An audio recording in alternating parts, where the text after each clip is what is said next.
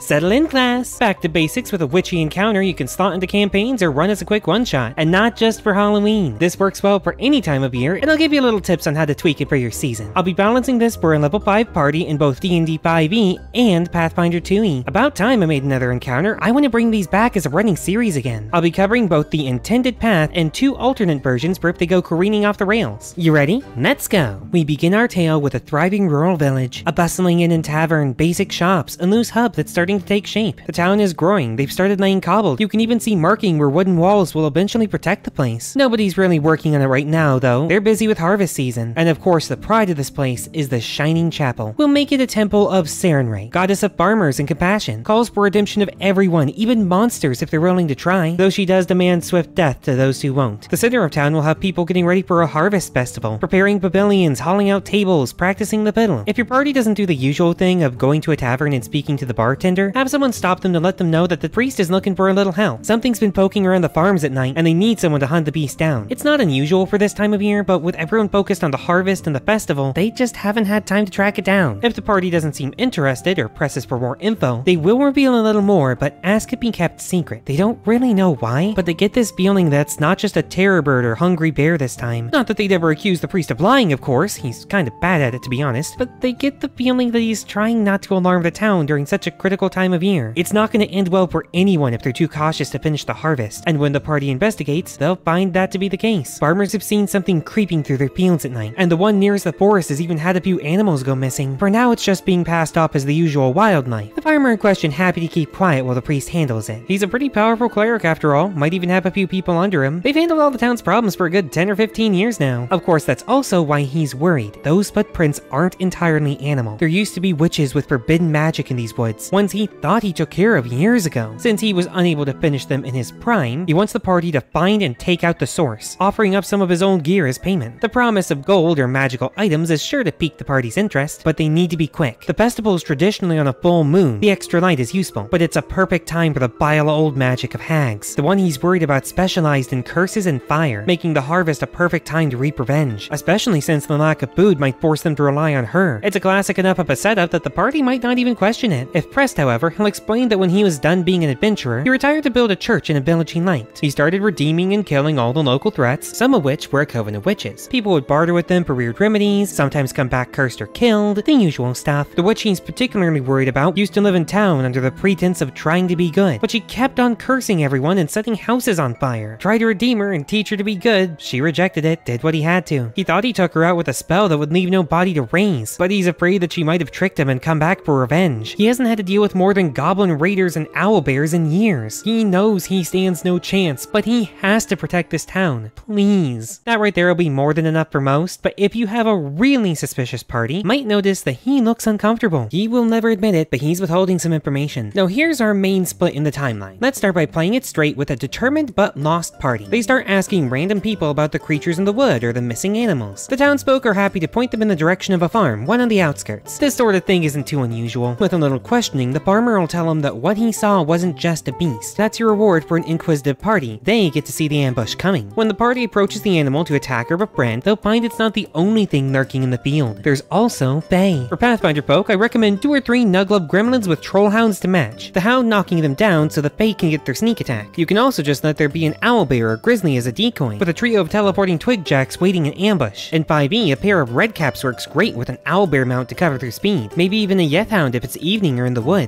Either way though, there's something more than just hungry aminos around. We're gonna need a series of checks. Something like survival to follow the tracks, wisdom to throw off the enchantment of the woods compelling them to go in circles, and dexterity or reflex to counter all the Fae trying to mess with them. Not fight them, mind you. Make every failed check describe some minor shenanigans. Pixies throwing nuts from above while others snag a bit of clothing. Quicklings dart past and grab something from their bag, or magic vines trip them up while fairies try to steal a tooth or hair. Eventually they'll emerge into the witch's clearing, arguing about how someone's eyebrow can just wander off or something. Smoke will be chuffing from the fireplace of the hut. She is clearly home. Anything with an intelligence of 8 or more that comes within 30 feet must make an intelligence check. If they fail, every flame in the area starts hissing, Intruder. If they pass, they might be able to sneak up on her. The witch will have no warning. She's a rather unassuming girl, late teenager, with all the screeching fury and panic of the cornered feral animal she technically is. I knew more murderers would come for me. Far too little, far too late. Trying to talk is possible if they are very quick, but there is no way to completely talk her down. That temple will topple and its clergy will burn. But that's for another route. This party knows the mission. The witch won't stick around, but her reaction changes if they snuck up on her. Behind the witch is a living ritual circle of lilies and poppies and heliotrope, with rose vines weaving together to form an arcane staff in the center. Fire poppies are woven throughout, and at the top is a giant one blooming into a swirling vortex. If the witch knew what's coming, she'll already have her action ready to activate the staff. A couple buds will bloom to release displacer beasts or Blodeuwedd. On her next turn, she'll call forth the elemental from her cauldron spire, a fire elemental or a filth fire, and disappear with the staff. If they manage to surprise her though, she absolutely panics. She rips the staff free and teleports far. The flowers all burst open with a blood of fae of every sort, from fairies and gremlins to Korred and Pukwudgie. Most will just jump out the window or start tearing up the place, but the vines form back into a shambling mound or shambler. This one's special. Instead of lightning absorption, it has fire absorption, and instead of healing from it, it summons a weak fae. Twigjack or Meenlock are my choice, but anything works. Either way, if there's one thing she knows how to do, it's escape via teleporting. The priest will be horrified at the news and rally the townsfolk to the chapel. Night will fall, the moon will rise, and if there's two things she knows, it's how to set things on fire. Fae are zipping around everywhere and have given her a new enchanted form, though which one she gets depends on her preparation. If she was prepared, she marches in with some fiery plant creatures. I know those don't really exist, but it's easy to reskin an elemental like an ember fox or fire snake as being made of burning brush. She also has her incomplete brush fire staff, and if you don't want to use my stats, Pathfinder people can reskin a Witchwyrd by swapping the force absorption to fire, and D&D denizens will find favor with a conjuration wizard. However, if the party took her off guard in her hut and she ripped the staff free, she doesn't have that control. They don't really get a fight in this one, they get a force of nature. An entire stand of trees marching like a many-legged spider, bound together and puppeted by thorny vines, or a forest fire given form as an all-consuming whirlwind. The point is that she panicked and screwed up the ritual, but decided it didn't matter as long as she got revenge. She is a conduit with a single goal, killing that priest. Her form naturally destroys anything that's near, but she only really cares about that cleric. The party either has to flee with him until her body gives out, or try to take her out before she blitzes through and kills him. If they fight, bump her AC up a point or two and jack up that HP. You could also just give her a resin shell that they have to break through. The point is that she's tanky and they only have a couple rounds to blitz her before she insta-kills that priest. The party is making saves against slashing vines or scorching heat or whatever disaster you chose. Let's say 3d6. Hard enough to hurt, but it's not really an attack, just the cost of existing within like 20 feet of her. However, they might choose the smart option and run like the priest is screaming to. She's no faster than the party and they do have a head start, but she does ignore all the road hazards, like plants rising up to grab them, normally trivial creatures attacking, the ground opening up into chasms, a stampede breaking loose and threatening to trample them. It's basically a gauntlet of rapid fire problems that pose little threat themselves, but every failed save or round spent fighting brings her closer. I even made a random table. Roll or pick what you like. Maybe have the failures lead to some of the town getting picked off. If she catches up, she will immediately drag him in and eviscerate him. Maybe she'll die, maybe she'll flee. Either way, the danger is finally over. Oh, and if your party's not into cinematic encounters, just throw out a big monster like a wood golem or a reskinned hydra. Same principle, creature they couldn't normally take on, but stand a chance against because it's ignoring the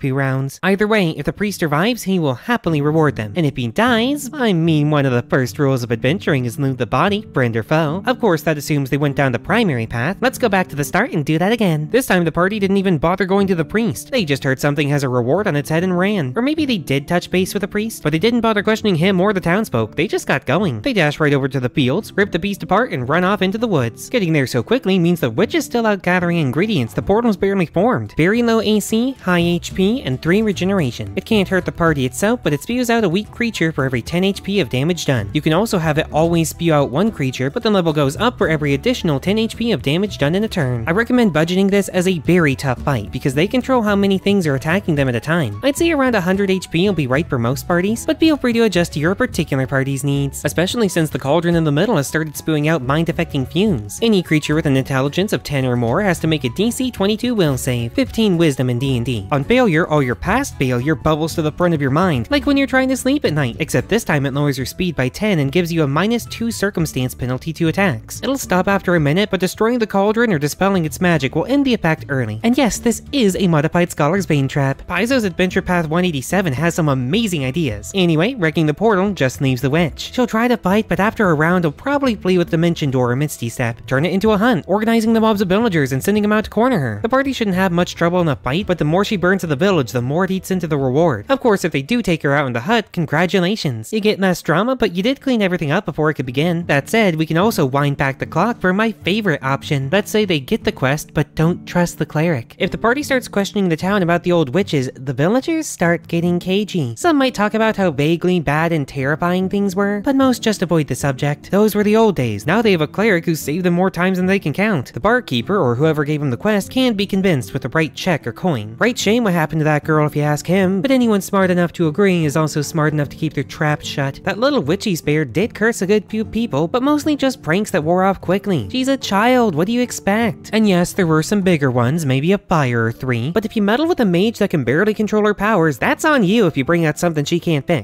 If that is her out there, try to talk to her. She seemed like she was a good sort. Hope the years on the run didn't change that. Alternatively, you might have them discover the grave of said witch, not in the graveyard, but behind the herbalist's house. Telling her why you want to know about the grave will get a bitter laugh. The minister really shouldn't be so harsh. Truth like that, and he's practically by himself. The old witches were just providing the remedies they could with what they had. Yes, people did die when they ignored the instructions or tried to threaten them. What the people really fear is retribution for helping remove her. Some of them more enthusiastically than others. The out back because she used to be a surrogate mother to the child. Bit of an open secret that she was a witch herself, though at the time she hadn't been old and powerful enough to join the coven. At least she was able to talk people down when the witch hunt showed up, because wasn't she redeemed now, spared by their god? Little Amy was fine, and if that is her, she hopes her revenge goes well. If nothing else for her own sake, she's getting a bit too old to be running from an angry mob. If the party decides they want to help the witch, the herbalist will spray them with a pungent perfume to ward off the magic of the woods for a few hours. Either way, they'll find the field encounter and eventually track down the witch in her home. She'll pop herself up and threaten for them to leave, but scale back down to wary if they say they just want to talk. Yes, she's going to get revenge on those who tormented her and tried to kill her. Her and all the others who followed the natural way, killed for the teachings of an old murderer hiding under heroics. So unless they want to assist her in ridding the world of him, she'd ask they leave her be. Now she'll be willing to spare the followers of the old faith like the barkeep if she knows they exist, and with some bargaining she might agree to only destroy the church and clergy. But that part is not negotiable. If they join her, congratulations, new path. She's getting ready to burn this place down while letting the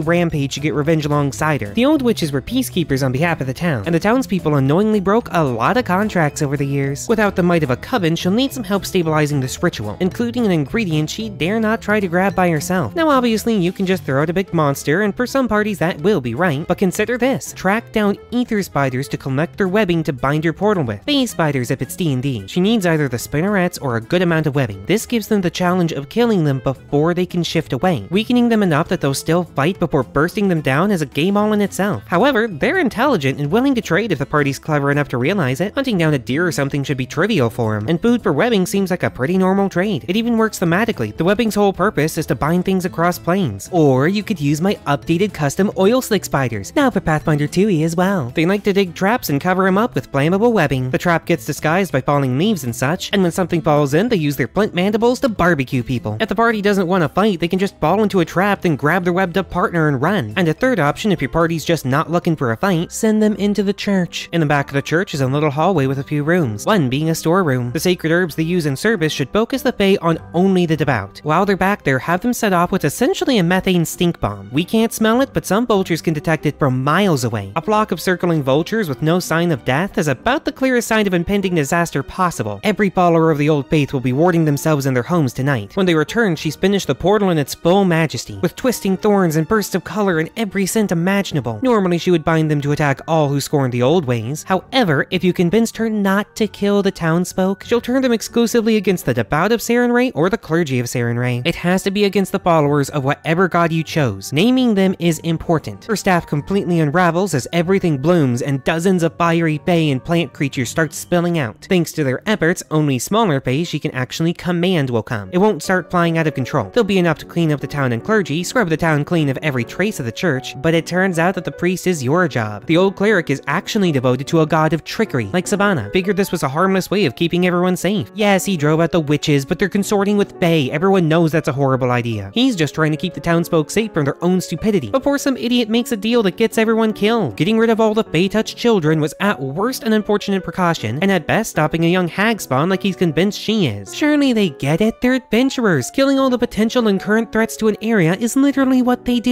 He's not entirely wrong, but I think we all know someone's dying tonight. Now, he might be past his prime, but he was still a powerful adventurer once, one with a god vaguely on his side. Stats in the link in the description, but basically a tanky cleric if you want to build him your own way. If the piles are too unwieldy for you because you're doing this IRL or something, make an elite zealot of Asmodeus or a weakened priest of Pharasma if you're in Pathfinder. An enchantment or illusion wizard is good for 5e, or even a Cambion if you change its fire to radiant damage and take out the fly speed. Either way, he also calls an ally to his side, because every good boss needs minions to keep up the pressure. For Pathfinder, I recommend having statues of the goddess rise up as animated statues or Divine Warden. For 5e, I recommend sets of animated armor or a helmed horror. You could even dip into clockwork creatures, a gift from an old artificer friend. For a little extra twist, as long as they're on church grounds and the priest is alive, have two party members swap places every round. Just assign each party member to a number and roll two dice. A little boon from his goddess of trickery for the wonderful long con. If you like, you can have the witch bite alongside the players and just add an extra minion or use stronger ones. But if you don't want even more to keep track of, have a small portal appear above the church. It starts spewing out weaker angels and the witch has to take care of it while the players take out the priest. The players get a moment to loot the place and priest before the witch and Fae rip them apart. You can have the witch become the new protector and peacekeeper, or just fly off into the night. Her revenge finally complete. Either work great for fall, but I did mention I'd help out with other seasons. In winter, the town is entirely holed up. The place isn't bustling with travelers, but the taverns are full. The mood is mostly cheery, but insight might show unease in the air, like they're partially trying to have a good time to ignore something. The barkeep will let him know that a winter festival is coming up, but there have been talks of whispers in the wind. The clergy told him to send every adventurer he finds to the chapel. In this case, it's not a full moon that gives the witch power. Their calendar has 30 days per month and a week between years. They're days that even the gods couldn't wrench from the world, and he fears what she might conjure while the primal rituals are at their strongest. Most encounters work the same, with a few easy substitutions. Swap out the bears for a winter wolf or two, and have the staff use winter flowers like camellia and winter jasmine. If they sneak up on the witch, the Shambler or Mound uses cold damage instead. If she goes berserk, you might make her wrath a snowstorm, but you really just need reflavoring. If you look at most winter myths other than Santa, you'll find that Fae and cold go together hand in hand already. As for spring, it's basically the same as fall, just swapping harvest for planting. The party's first meeting might be with a lumberjack hard at work clearing land for construction. The clergy's worried because Fae are strongest when life grows back, and he's worried about the figures in the field and what they might be planting. Instead of animals, it's weird plants growing in overnight. Go full overgrowth theme and have the staff grow Vegepygmy or Leshy instead of Fae. And of course, in the summer, building is underway. Locals volunteering to build during the day because the church donates a round or two if you help. This time they're messing with the carpenters instead of farmers, slowing progress on the wall. The locals think their project is just angering the Fang, but the priest is pretty sure it's a witch sending him out. The brushfire theme is already perfect. This is the prime season for wildfires after all. I kinda just went with it in fall because I like making nature people fiery. Anyway, finally, two quick pieces of info to end this off. Number one is that a little flavor lets you shove pretty much anything anywhere. A story about a witch's revenge doesn't have to be just a Halloween. If you ever want to do an adventure or module but you don't think the theme fits, change it. Make Curse of Strahd into a tyrannical Candyland. Who's gonna stop ya? And secondly, most importantly, inspiration can come from anywhere. Find something you like and tweak it, or rebuild it with your own flair. It's fine. It's what every sentient creature does. Dante's 4th century Divine Trilogy was self-insert Mary Sue fanfiction led by his favorite author, Virgil. Virgil was a 1st century author building on Homer, and 3,000 years ago, Homer was making fiction of folktales. Folktales of gods who'd already been through many names and cultures. Even if you don't add on to a story or tweak it, everything becomes different because it's you and your friends telling it, with your own ideas and viewpoints. And even if it's still not, it's your home game. Who cares if it's loosely based off a song from one of your favorite YouTube musicians? That's right, this started off as a parody of Aviator's Scarlet Vow. Come on, how could I not? Casting off the shackles to reject your given name, the one who burns the witches always ends up in the flame? That is just too cool. Much like my supporters, Eldenia95, Martyr Masquerade, and Feral Goblin. Thanks for helping me buy things for the show. And if you want to help, just hit the Ko-fi link below and comment to tell me what you think of the adventure or how much you love Scarlet Vow.